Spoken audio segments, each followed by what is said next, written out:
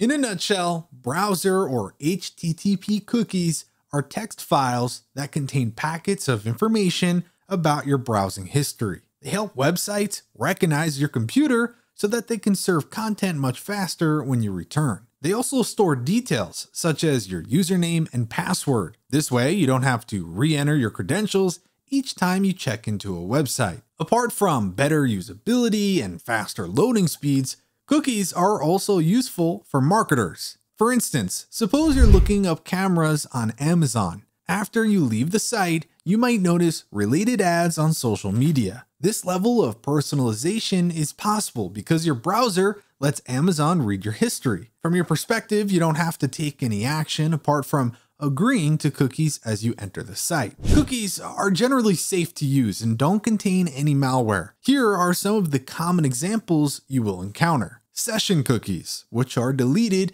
as soon as your session ends. Persistent cookies, which are used for website authentication. Secure cookies, which are used by encrypted websites as protection against hackers. Third party cookies, which are found on pages with ads that grant access to external parties even if you don't click on any of the ads. And finally, zombie cookies, which are troublesome as they can install permanently on your computer even if you opt out. The last two types cause a lot of concern since they track and store data without your explicit permission or knowledge.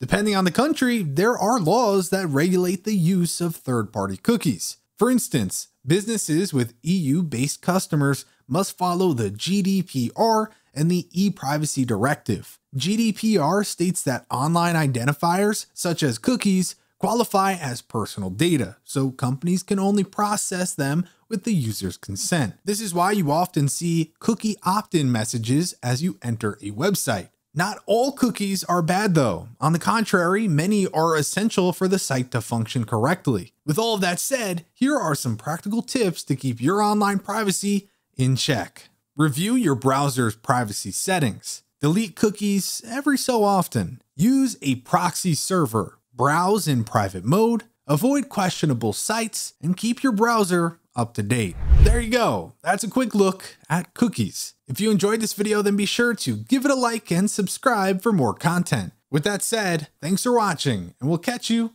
in the next one.